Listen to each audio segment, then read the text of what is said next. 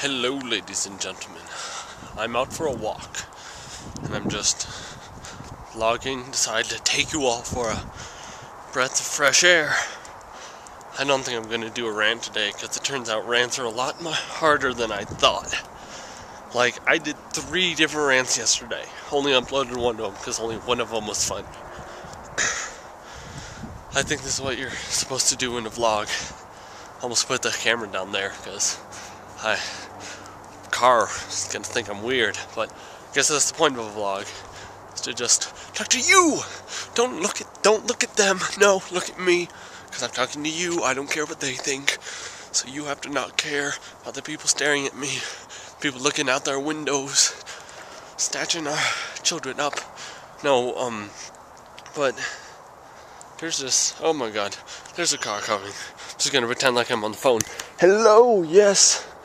I would like to uh, buy a brand new set of. Oh my god, that was quite an experience, wasn't it, audience?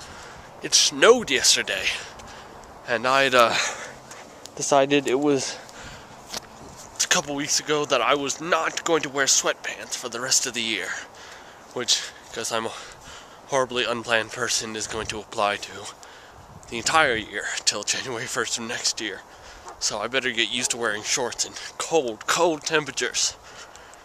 So, I was just saying, just ah, you even pointed at me, audience. Just saying hello, and I, pre- for those of you who didn't know, I just pretended I was on the phone there, so that the car driving by wouldn't think I was weird.